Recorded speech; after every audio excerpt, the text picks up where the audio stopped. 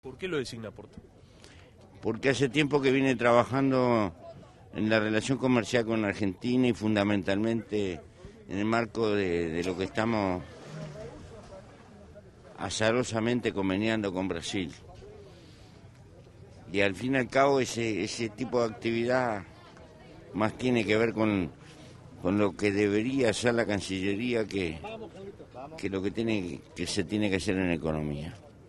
En la subsecretaría de Economía queda un lugar vacante. ¿A quién va a designar? No, no, no tengo claro. No tengo claro, no, no he tenido tiempo de poderme ocupar de ¿Lo eso. va a definir con Astori este tema o, o es una decisión suya? No, lo voy a decidir con la almohada.